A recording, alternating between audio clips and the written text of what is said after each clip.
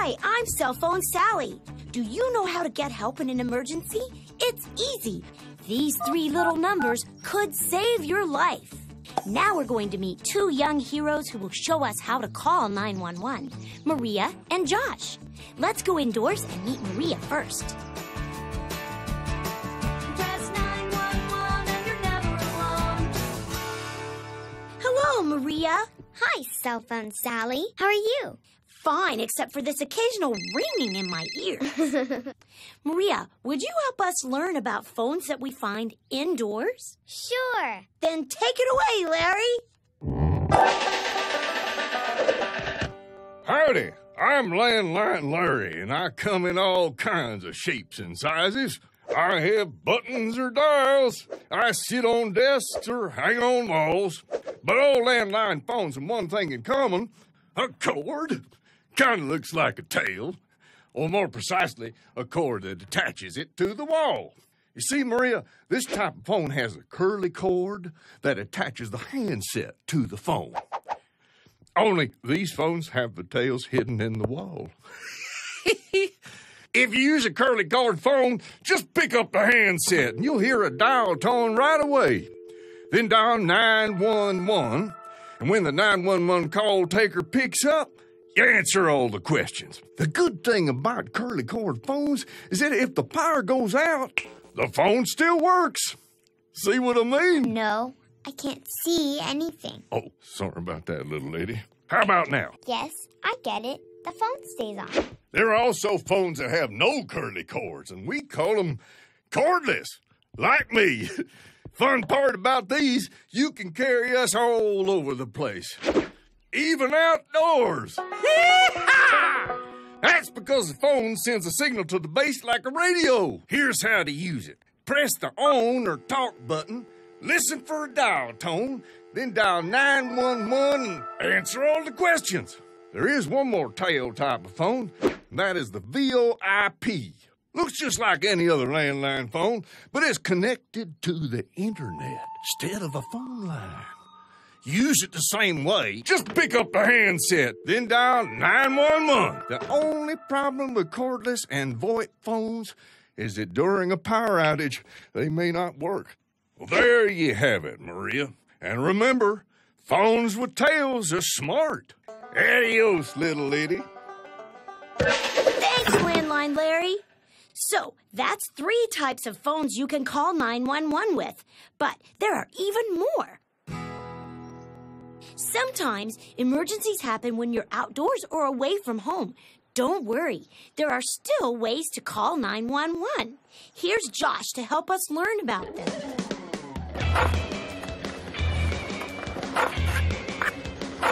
So, Josh, if you had to dial 911 outdoors, how would you do it? Uh, well, Josh. I I guess I Over here. I'm Patty Payphone. right. I'd use a payphone. Very good, Josh.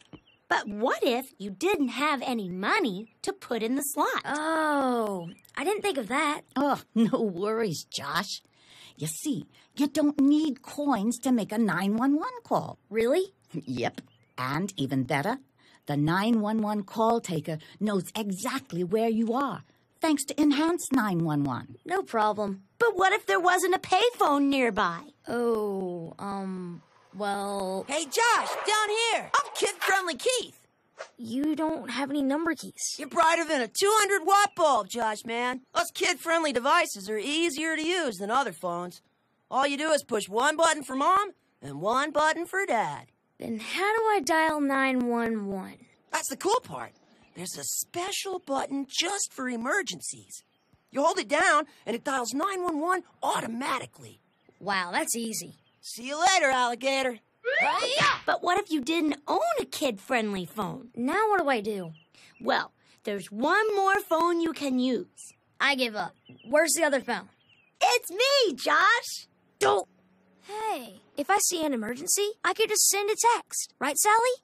Afraid not, Josh. Contact with 911 must be made by dialing the phone and talking to the call taker.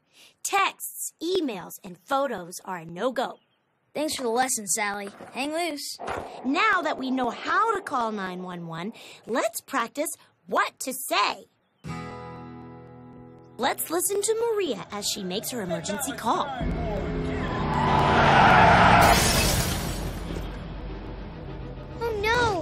Maria can see that this is a true emergency, so she decides to call 911 for help.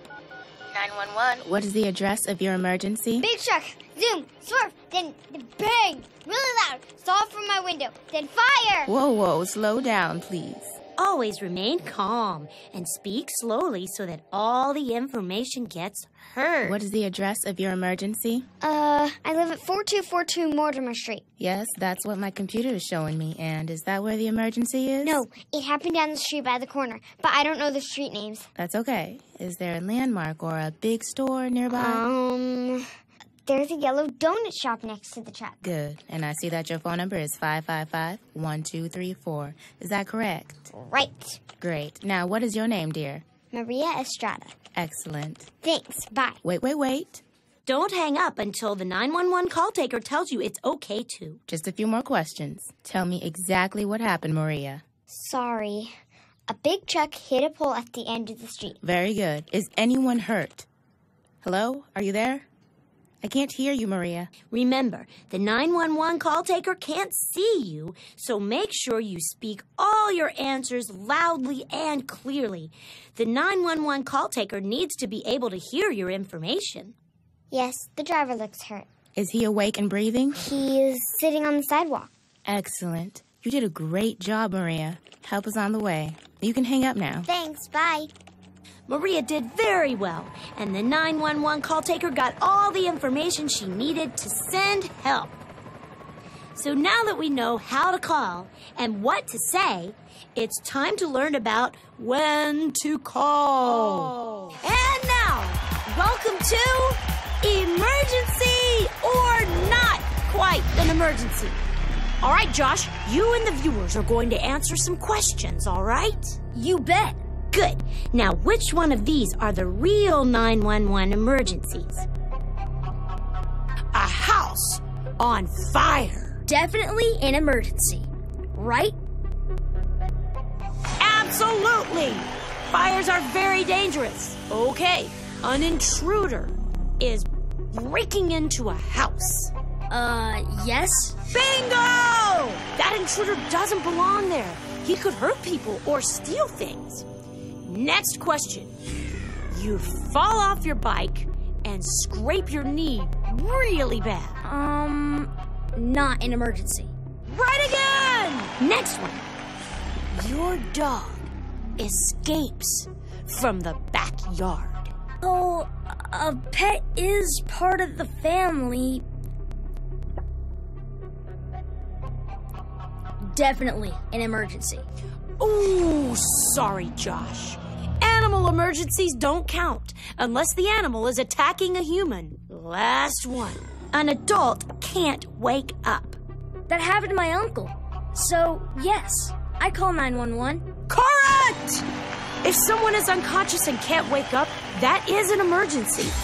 Wow, you're good at this, Josh. And so are you. You all did great. I rock. Yes, you do. We rock. Knowing how and when to call 911 is very important.